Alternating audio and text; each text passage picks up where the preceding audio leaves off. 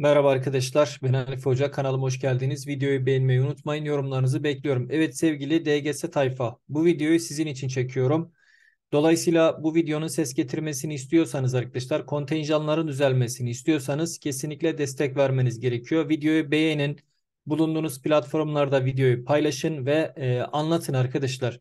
DGS kontenjanlarında büyük haksızlıklar var. Bu haksızlıkları dile getirmediğimiz sürece, tepkimizi göstermediğimiz sürece bu haksızlıklar devam edecektir. Bakın DGS kontenjanları ile YÖS kontenjanları yani yabancı öğrenci sınavının kontenjanlarını karşılaştırdım.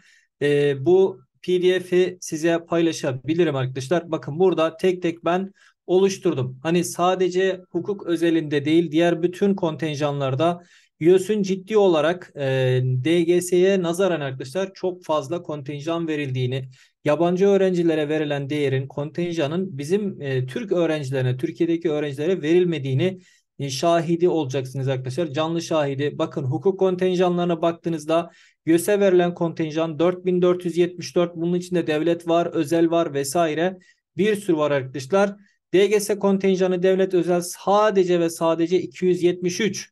Buradan görebilirsiniz arkadaşlar. Aradaki farkı, aradaki bariz farkı, kontenjanlardaki büyük haksızlığı görebilirsiniz. Buna tepkinizi dile getirmediğiniz sürece hiçbir şey değişmeyecek.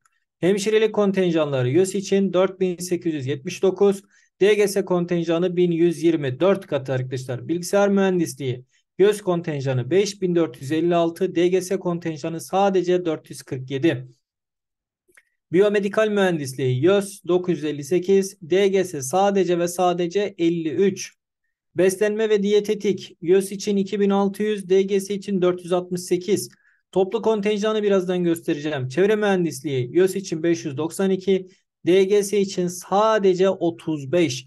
Arkadaşlar görebiliyorsunuz. Yani aradaki farkı yabancıya verilen değerin bizim ülkemizdeki insanlara verilmediğini, öğrencilere verilmediğini bariz e, burada delili elektrik elektronik mühendisliği 4625, YÖS için DGZ için 405'e düştü.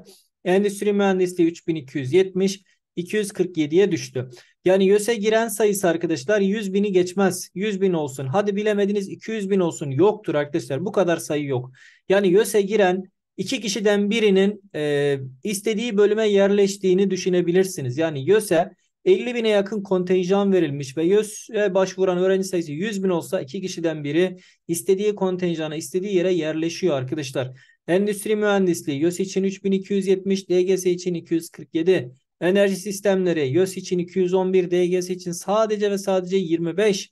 Bu adamlar mühendislik okuyup ne yapacaklar? Hukuk okuyup ne yapacak? Hemşirelik okuyup ne yapacak? Türkiye'de hukuk okuduğu zaman Türkiye'de hukukçuluk yapacak bu insan. Hemşirelik okuduğu zaman Türkiye'de hemşirelik işi yapacak. Türkiye'de mühendis olacak. Hani hukuklarda kontenjan fazlalığı vardı? Hani fazla hukukçu vardı piyasada? Sen YÖS'e 4400 kontenjan veriyorsun. Bu adam mezun olduğunda ne iş yapacak? Türkiye'de hukukçuluk yapacak. Hani fazla hukuk vardı? Hani fazla avukat vardı? Yabancıya vardı bize mi yok? Evet arkadaşlar fizyoterapi YÖS için 3116, DGZ için 410. Gıda mühendisliği 851'e 84, harita 273'e 15, İnşaat mühendisliği 3164'e 269, kimya 662'ye 62. Arkadaşlar buna en fazla tepki gösteren kişi istisnasız benim. Bunu biliyorsunuz. Yani kontenjanlarla ilgili çok fazla video çekiyoruz. Elimizden gelen desteği vermeye çalışıyoruz size. Sizin de kesinlikle bu işe tepki göstermeniz gerekiyor arkadaşlar.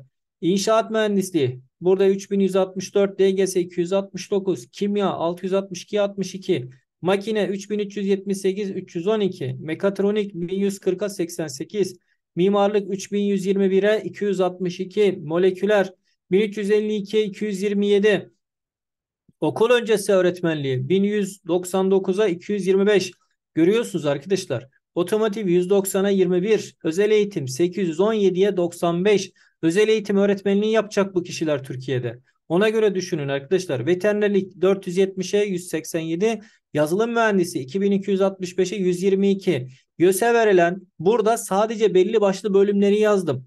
Yani diğer bütün tıplar var, eczacılık var onları dahil etmediğim halde göz kontenjan arkadaşlar burada 49 bin gözüküyor. DGS sadece 4400.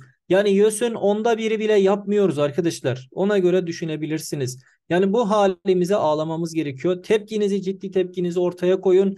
Dediğim gibi bu videoyu her yerde paylaşabilirsiniz arkadaşlar. Biz tepkilerden çekinmiyoruz ve korkmuyoruz. Siz de tepkinizi ortaya koyun. Videoyu beğenmeyi unutmayın. Tamam mı? Mutlaka. Görüşmek üzere. Hoşçakal.